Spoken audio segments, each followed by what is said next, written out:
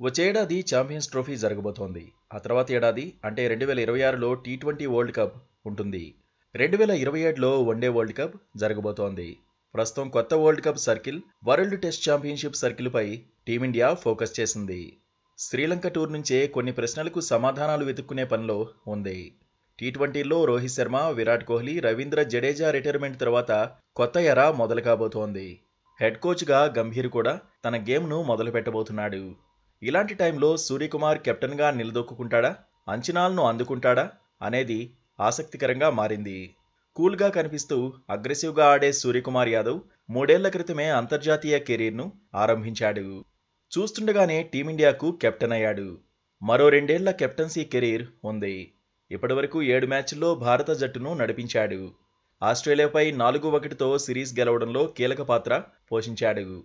ఆసీస్తో సిరీస్లో టాప్ స్కోరర్గాను నిలిచాడు. South Africa టూర్లో సిరీస్ ఒకటి ఒకటితో సమం చేశాడు. సఫారీ గడ్డపై యాభై ఆరు బంతుల్లో వంద పరుగులు సాధించాడు. కెప్టెన్ అవుతాడనుకున్న పాండ్యా కూడా ఇప్పుడు సూర్య కెప్టెన్సీలో ఆడబోతున్నాడు. ముంబై ఇండియన్స్ కెప్టెన్ను ఎలా డీల్ చేస్తాడన్నది కీలకమే. టీ ట్వంటీలో ఫినిషర్ను డిసైడ్ చేయడము భారత జట్టుకు ముఖ్యమే. కోహ్లీ రోహిత్ ప్లేస్లో శుభ్మన్ ఎస్ఎస్వి జైస్వాల్ బరిలో దిగుతారు. మూడో స్థానంలో పంత్ ఆడతాడు మిడిల్ ఆర్డర్లో సూర్య హార్దిక్ ఉంటారు. మరో స్థానానికి సంజు రియాన్ పరాగ్ రింకు శివం దూబే మధ్య పోటీ తప్పేలా లేదు. వన్డేల్లో టాప్ త్రీ ప్లేయర్లుగా రోహిత్ శర్మ శుభన్ గిల్ విరాట్ కోహ్లీ ఆడతారు. అయితే మిడిల్ ఆర్డర్లో ప్లేస్ కోసం శ్రేయస్ అయ్యర్ కేఎల్ రాహుల్ రిషబ్ పంత్ పోటీ పడేలా ఉన్నారు. ముగ్గురులో ఇద్దరికే అవకాశం దక్కుతుందనే చర్చ ఉంది. రాహుల్ పంత్ ఇద్దరు ఫిట్నెస్ సమస్యల నుంచి బయటపడిన వారే.